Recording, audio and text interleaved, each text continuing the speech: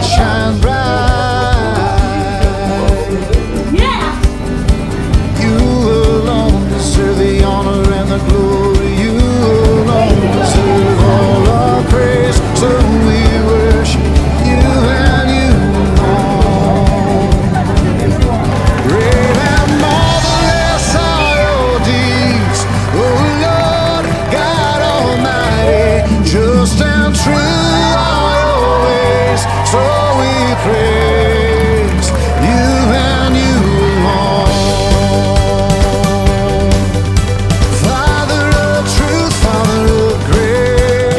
Is so much more than a prom. It's uh, a church coming together and a community coming together to celebrate life.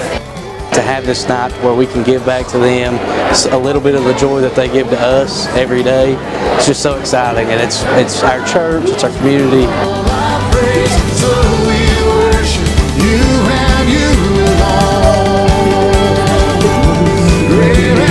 There's a gym full of people that have been maybe pushed aside or maybe not celebrated and so this is like all for them and I, that's what we were talking about like this is the church you know this is celebrating all God's people the community has really come behind us. We've got the police here escorting people down the red carpet, uh, restaurants donating food. I think we have five different churches represented here tonight that have volunteered just to, um, to honor these guests and just make it awesome for them.